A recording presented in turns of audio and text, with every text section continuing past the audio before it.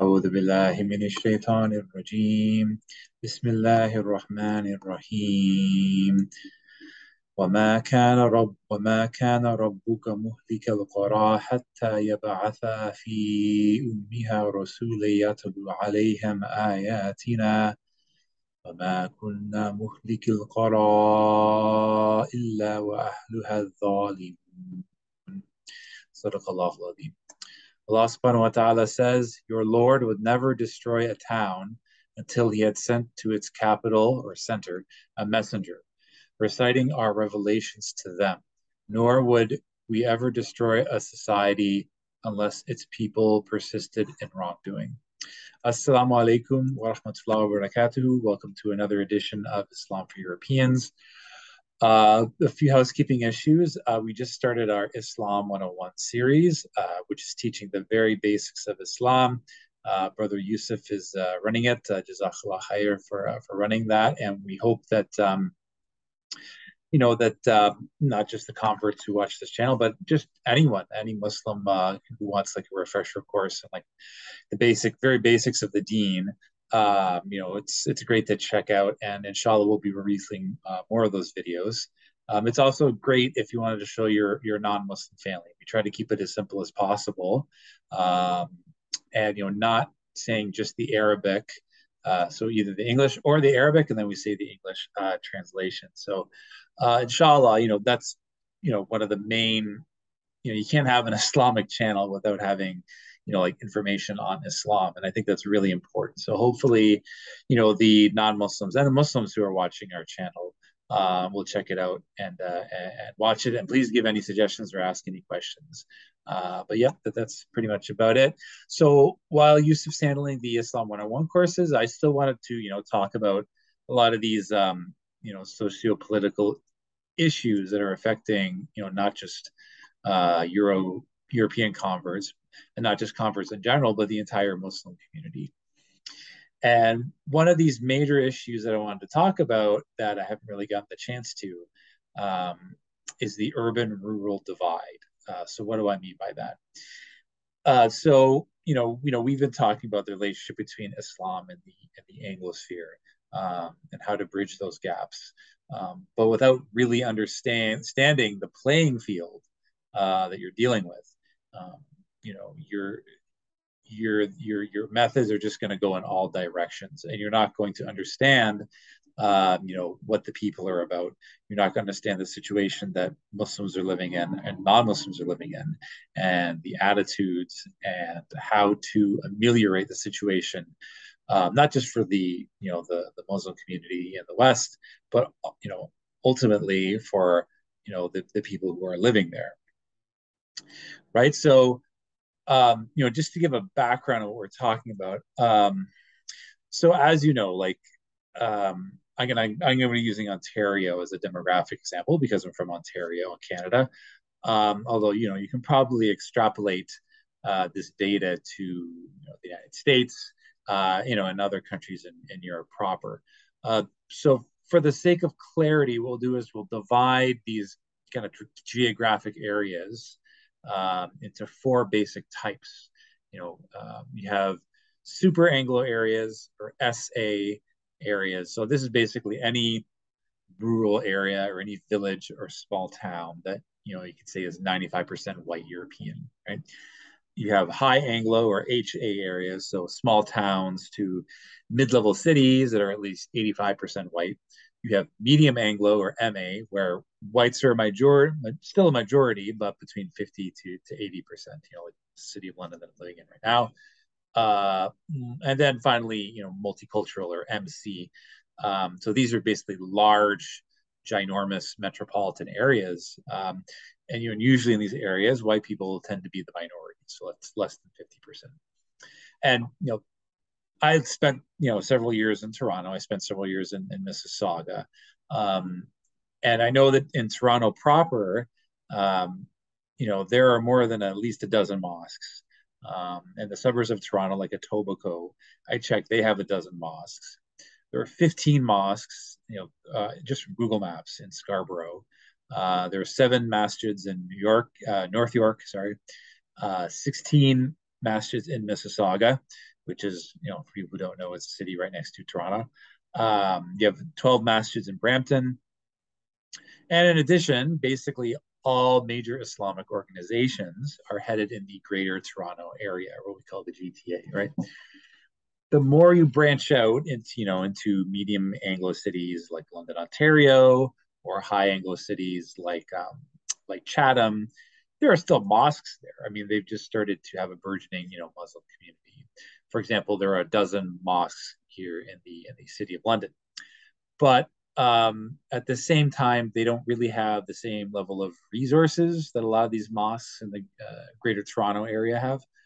So, for the most part, these mosques, their whole frame of reference and how they deal with the greater community is going to be centered around, you know, the goings on and the the culture of these large cities, right? So, large metropolitan multicultural areas, right?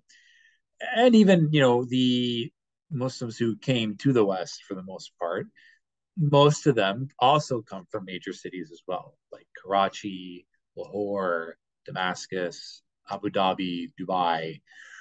So you have a lot of Muslims living in the West, right? But who, for the most part, you know, like let's just say that you know, I guess masjid goers or mosque goers, they don't really hang out with non-Muslims to begin with, and they really don't for the most part, interact with or have deep, relate, meaningful relationships with white people to begin with. If they do, normally it's going to be, you know, obviously from the white people, white people who live in those cities. And the whites who live in those cities, they tend to be more liberal, you know, to begin with. So, um, you know, so you have that going on. And in addition, you know, in the large cities, and I lived in when I lived in Toronto in 2011, uh, you know, a lot of the all of the basically you know, kind of right wing Islamophobic organizations um, are headquartered in the GTA as well, right? So they weren't in, you know, smaller, high Anglo cities like Windsor, you know, Rebel Media and the Sun. Uh, they were all headquartered also in the GTA. So you have kind of like this is where in these large metropolitan cities that they really butt heads, right? So, and you know, in particular, you have people who are coming from all over the world, right? And those people who come from all over the world to these large, you know, multicultural cities, they're going to have, say, varying opinions on Islam, and it's not always going to be good. It's not always going to be pretty, and a lot of these people, uh, you know, they're not always white either, right? So you have, for example, Arab Christians, and you know, not, not to harp on Arab Christians, but um, you know, I worked for actually for an Arab Christian, and then months into working for them, this was in, in the GTA they found out that I was Muslim, and then they did not like Islam whatsoever. Right. So, you know, uh, I eventually was fired from that position, but I moved on. Um, you also have Hindu groups, right? Uh, in fact, when I was living in Mississauga in 2011, I remember very distinctly that there was a protest against a Jumu'ah Friday prayer in a high school back in 2011 um, at, a high, at a high school in Toronto. And I remember distinctly it was headed by a Hindu group, right? you also have ex-Muslims, you know, coming, you know, to the West and hanging out in these large metropolitan areas. So, you know, a lot of these, I remember there was an attack on a mosque a couple of months ago in Mississauga, and it was actually an ex-Muslim that uh, that did it. And even when I was going to university, there was an ex-Muslim who um, went into the prayer room and started ripping up pages of the Quran and stuff. Um, you know, and then on top of that, you also have, I guess, European immigrants. So, you know, white European uh, white Europeans who immigrate to you know the GTA, and you know they have varying opinions on Islam, as you know, and you know they tend to be, I guess, more Islamophobic than your average you know white Canadian, right? So when I lived in the GTA back in you know 20, 2009 to 2011, um, the Islamophobia industry, what I mean by that is not the way the left means. I mean the I guess the way that the left is you know sort of uh, now uh, gotten a hold of it. Before then, they didn't really get control of it. You know, like you know, it wasn't it didn't become a racial issue. You know, like I guess even Moss before back then, even though you know they kind of had varying attitudes on on white people. Um, you know, for the most part, they realized that you know a lot of white people don't have a problem with this uh, Islam. There are several white converts. It was a lot easier as a white person to convert to Islam uh, back in the 2000s, mid to late 2000s, as opposed to now. Um, and you know, like uh, they just you know met people eye to eye. You know, they had you know they talked to politicians and things like that, and you know, there's less of a um, I guess this aura of like this you know conflation between Islamophobia and race. Um, but that's all changed now. I mean, since you know the woke left has basically captured, you know, the Islamophobia industry, um, they, they make it their business to make it seem like the vast majority of white people uh, hate Muslims, right? Uh, and the vast majority of those white people are, you know, once you exit the GTA, once you exit the Greater Toronto area, you know, if you're a Muslim, you know, traveling in a small town, any small white town they visit, they want to pump it into your head that all the white people hate you, they all hate Islam, they all hate Muslims. They're all going to rip your hijab off. They're going to chase you out of town with a pitchfork.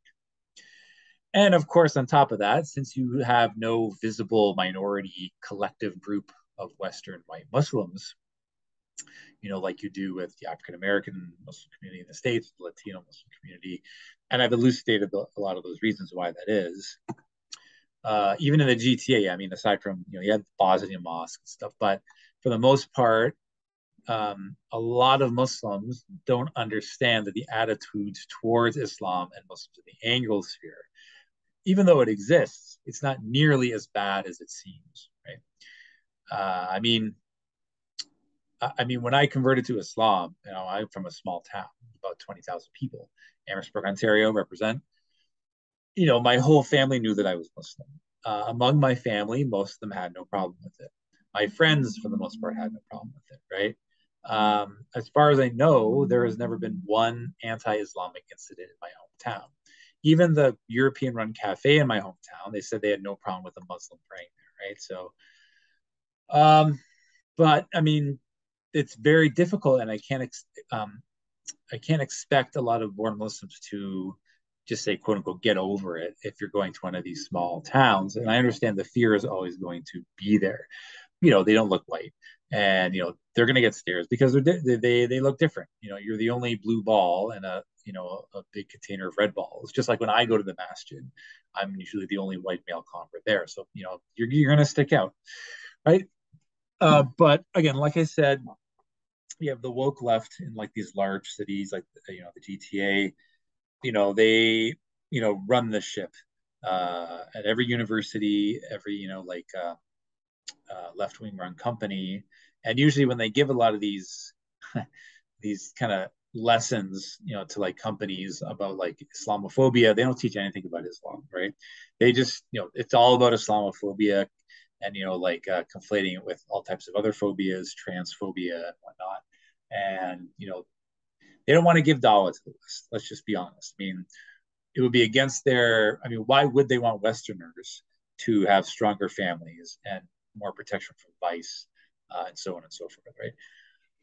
You know, so and again, on the, on the other side of the story, a lot of rural rural uh, whites, you know, the whites living in you know uh, super Anglo or high Anglo areas, they're not going to interact with Muslims very often either right? So the only information they're going to get about Islam and Muslims is from the media and the internet, um, or you know, from you know, talking at the coffee shop, you know, talking about stuff that you're not allowed to talk to at work, uh, you know, like, and I'm sure a lot of these issues that you know they see in right wing media that some Muslims are doing, which may or may not may or may not be true, or may or may not be associated with Islam in the first place.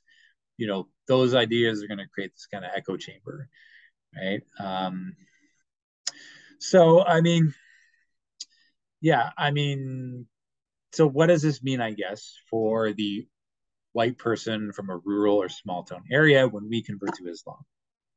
And how is that compared to, you know, whites who live in like large metropolitan areas, right? Well, several things. I mean, when you're in a small town or the countryside and there are no Muslims, right?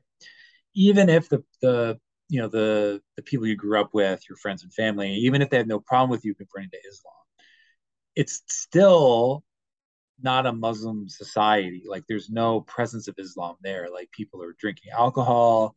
There's a lot of gambling. Women walking around with bikinis. Um, you know, smoking, uh, drug use, uh, bush parties. it's not an Islamic environment. You know, it's very difficult to create these niches when you're the only Muslim in that small town. And for me, I traveled to go to the mosque. It took me 30 minutes to drive to Windsor to go there, right? And I would go there. Sometimes I would go there just to pray, stay there, and then make, you know, pray. I would go there and pray Maghrib, stay there until Isha, pray Isha, and then go back home. Sort of just to, to give myself an Iman boost, right? Um, but even that is just an enormous challenge because like you're you're literally living in two worlds. And a lot of the Muslim community, they simply don't want to go to these small towns to meet your family right? And I don't blame them. You know, I really don't blame them, right? So that in and of itself is an enormous challenge for the small rural convert to Islam. Right. So and then, and then you know a lot of these converts they have no choice really if they you know if the, their deen matters to them that they feel like they need to move to a big city. Maybe it's for another reason. You know, maybe it's conflated combined with another reason like hey there's muslims living in this big city and there's more job opportunities so i'll move there right you know, which is a challenge and it happens to everybody. But I mean, not everyone has the means to do that. And it's a challenge in and of itself, right?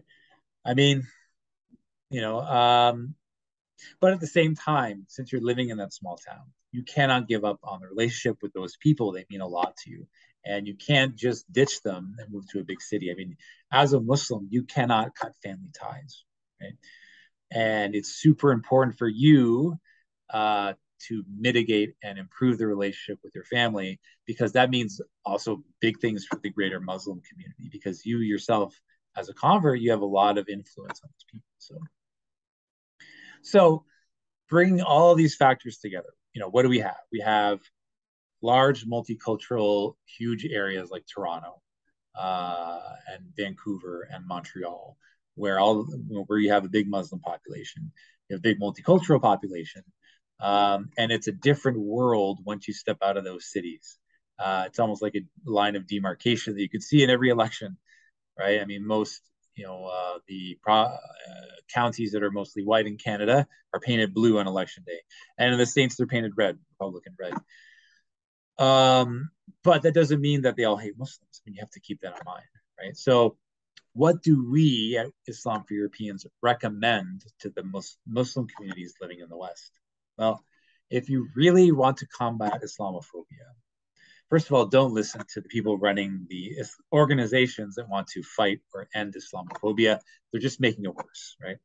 If you really want to give dawah to the, you know, the, the white majority in the West, the best idea is to financially support the converts from those small towns to give them the resources to build a mosque in their hometown, even if it's just a shack, even if it's just a musalla, like it's a Conestoga hut, and you build it with like three thousand dollars, and you only four or five people can pray in it, and you have the converts from those towns run that place, right?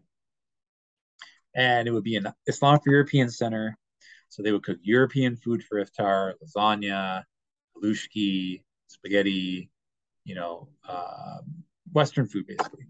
The dress would be the traditional dress or trad clothing from that era, from you know centuries past. Like in Amherstburg, it's a military town. I mean, you don't want to dress like the military, but you can dress the traditional dress. They, even if it's just for Eid, right? Um, you know, the architecture. How many abandoned churches are there in these small towns like Kincardine and Amherstburg and you know Harrow, right? That are just sitting there and are just going to end up being demolished uh, anyway and turned into a parking lot. You know, it, uh, you can get it dirt cheap, right? Um, you know, so the architecture would be European. Sports and games would be, you know, the sports and games that the people from that area are used to and that they're familiar with, right?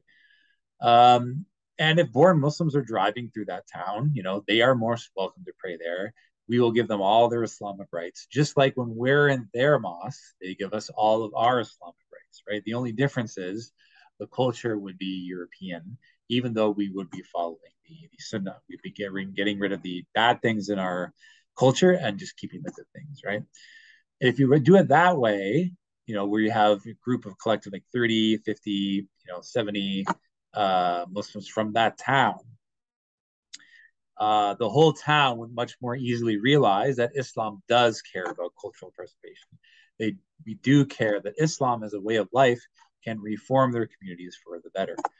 You know, they they will see the beauty of the Islamic uh, faith, uh, and they will see that you know that uh, this is a religion from our Creator uh, that He wants us to follow, and that we are, you know, keeping those that traditionalism alive, right? And then even the, for the people who really dislike Islam, uh, inshallah, their hearts, you know, you may be able to get them down from a minus 100 to a minus 70. For those who are interested in maybe in Islam, you might, you know, get a bunch of them to convert.